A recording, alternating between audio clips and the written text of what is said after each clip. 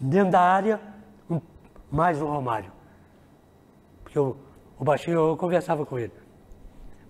Ele é muito inteligente. É por isso que ele se deu bem com 1,60m, 1,50m, não sei o quê. Porque ele nunca ficava de costas para os zagueiros, ele ficava do lado. Então ele está entre uma marcação e outra. Uma marcação e a cobertura.